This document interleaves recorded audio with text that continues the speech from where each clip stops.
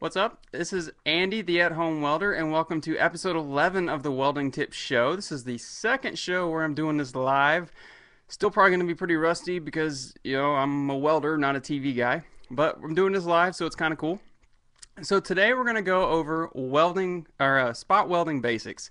And I'm not going to go into the great specifics and the ins and outs of the detail work of spot welding. I really want to cover uh, just the basics to let you know whether or not when you're going to be able to use them. When when are you going to need them as an at-home welder?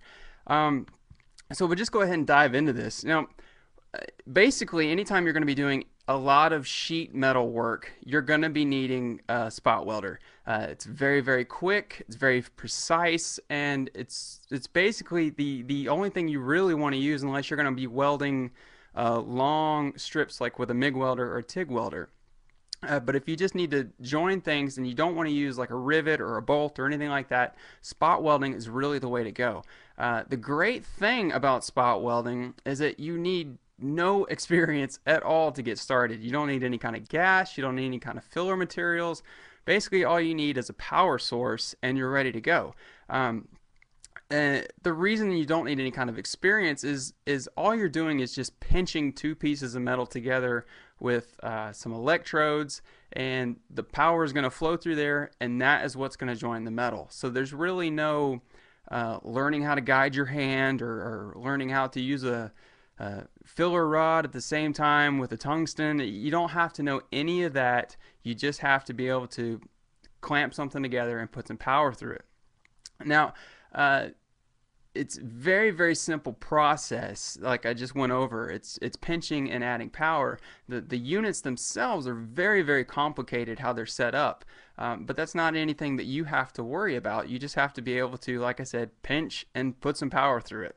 Um, you're going to have to do a lap joint. Um, and what that is, is any, like, if you think of like a deck of cards, anytime you're shuffling a deck of cards and, and they're kind of overlapping and where they're, they're sitting on top of each other, that is the lap joint. Um, you can't do uh, spot welding for butt joints or T joints where things are going to basically come together like this because you have to be able to clamp that metal together and sandwich it in between those two electrodes where the power is going to come through. So anywhere you're going to be doing a lot of sheet metal work, uh, this spot welding is really the way to go. Um, the great thing about them is uh, if you're going to be just be doing basic steel and sheet metal, that type of material, they're very, very cheap. You, I've seen them as low as $75. They might even be cheaper than that. Um, now, I, I haven't used any of those really cheap machines, so I can't really tell you whether or not they're great but just the fact that they're available and you can get started so cheap and easily is really really good. Because uh, a lot of guys you know when they're when they're welding in their garage they really just want to kind of work on their car or, or work on some fenders do something like that or just play around. And it's kind of hard to get started. Even with a MIG welder you're still going to end up spending more money. Uh, but if you just want to kind of do some car repair and mess around with that stuff, you can get a spot welder really, really cheap. And and they usually will run off just your home power source, a 110 source. So that's the other great thing. Now, how they work is, like I said before, you're basically just going to add pressure with a clamp and the electricity. Now, what it does is, so you have your pieces of metal, uh, they're laying, you have your lap joint, your two pieces of sheet, you have them clamped together, and basically those electrodes there, these are my, these are my electrodes here. You're going to pinch down, and that power is just going to flow through there. Now, the pressure of them being clamped down and the high amperage flowing through the metal is what's going to bond that metal together. You're basically melting them together, uh, which is the same process as other welding, except when you're melting it together, you're actually adding another type of material to, to help with that bonding. And with, with uh, spot welding, you don't have to do that.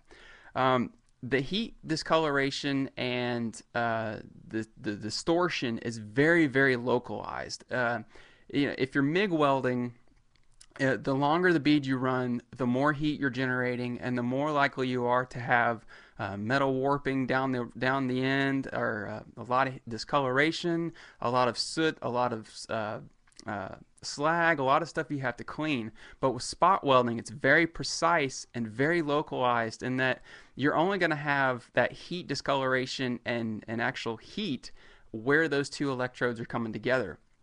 Now, almost any kind of common metal that you are going to be working with can be spot welded. Now, given that if you're doing something other than steel, uh, you're going to have to have a different type of machine that's going to cost a whole lot more money. Uh, it's it's really pretty interesting how the price jumps. Uh, you know, steel units you can get very very cheap, like I said before. But if you're going to do something like aluminum, those machines are so complex. I mean, they they literally cost thousands and thousands of dollars to do so. Now that doesn't mean that you're going to have to spend that much money all the time. But if you're looking at doing some uh, fancier metals, you're going to have to spend more money. So you're probably going to end up go- taking that to another shop and just having them do it for you. Now, some of the best ways to actually test your welds once you've once you've actually got your spot weld together and, and you want to test it to make sure that everything's going to hold is basically just destruction. That's my favorite way to test anything is just to try to destroy it. Now, obviously, you don't want to do that with your finished product. Um, so this is why testing is going to come into play. Uh, unless you know your exact settings, you're going to have to play around with them, especially if you're uh, using different thicknesses or, or, or, compounds of metals in each project. Um, the best way to do it is just to try to pull it apart. I mean, if, if you can pull it apart easily, obviously you've got some testing you need to do. You need to adjust the amperage or you need to uh, make sure you have it clamped together a little bit longer or maybe not as long. There's just some playing around you have to do. If it takes you a lot of effort to pull the thing apart, but you're still able to pull it apart, you're probably okay. Now, unless you have a uh, a pull press that you have all the, the gauges on it and you can tell how much pounds per inch you're you're adding to this thing or, or pulling apart this thing, you're just going to have to use common sense. I mean, really, if if it takes you a lot of effort to pull it apart, you're going to be okay. Now, another great thing is to just memorize what a good weld looks like. It's not like MIG welding where you can have a weld that looks beautiful, but it's terrible. It's not going to hold. The bonding just isn't there. Uh, with spot welding, you really can get a good eye of what a good weld looks like, and for the most part, you can trust that that's going to be okay. Uh, again, use common sense. If it's something where safety is really, really going to be an issue, you're going to want to find ways to test it. Um, but if you can memorize what a good weld looks like, you're going to be okay. Uh, and a good weld is going to be nice and evenly rounded, uh, kind of basically you can use your contact point, that tip, as a guide. Uh, you want it to be round just like that, and the discoloration, the color discoloration and heat is going to be localized to that one area where that tip actually touched the metal. Um, if you have really bad discoloration or your your indention to where the tips were is just all over the place it's not nice and evenly round you know you had too much heat and that's not a good weld obviously if there's a hole in the metal you blew through it obviously there's something wrong there you need to fix that.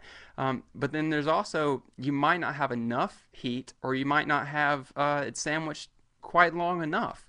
And that's going to give you a very light contact point very light ind- uh, indentation uh, light discoloration. But that's going to be easier to, to to know because you're going to be able to pull that apart very very easily. Now the other part uh, that I, I, I forgot to mention earlier is when you're actually welding uh, spot welding, it needs to be very, very clean. Now, it's the case in a lot of most welding, but in spot welding in particular, you need to make sure all the oils, dirt, paint, whatever it is, is completely removed. Now, if you have any kind of sparking or spitting uh, in the beginning of the process, you'll know right away that you need to clean the metal a little bit more because that's going to affect the bonding. Uh, you're not going to have a good bond if it's dirty metal, but you, will have some spitting and some sparking, and that'll let you know. Now, I know I kind of breezed through this really quickly, uh, but I really just wanted to kind of, this was kind of an extenuation of last week's going over MIG and TIG, and I just wanted to give you another option for different types of welding processes. So if you're going to be doing a lot of sheet metal work just in your garage, just grab a spot welder, and that's going to be the best way for you to go.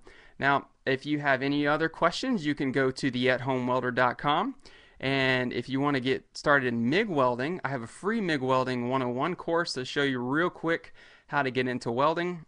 And the five cornerstone five cornerstone techniques of MIG welding uh, get you started today very quickly. There's a bunch of free videos and articles, and of course you can follow us on Twitter. It's